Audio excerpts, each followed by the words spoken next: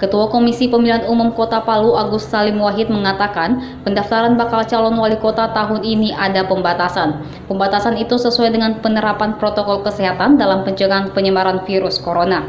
Dokumen yang akan diperiksa pun harus disterilkan, serta pasangan bakal calon wali kota serta pendukungnya harus mematuhi protokol kesehatan yang diterapkan, seperti pemeriksaan suhu tubuh dan cuci tangan. Ya, uh, yang utama juga adalah uh, kami selalu mengingatkan kemarin kepada seluruh Eh, partai politik dan juga LO yang sudah melakukan konsultasi untuk menerapkan standar kesehatan.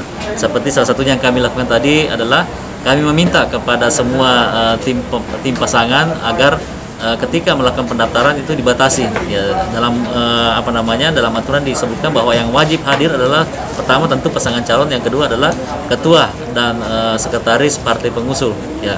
Selain itu, pihak KPU juga membatasi tamu yang datang, baik itu pasangan bakal calon ataupun pengurus partai pendukung. Protokol ini terus dilakukan selama masa pendaftaran bakal calon wali kota Palu dan tahap-tahapan lainnya.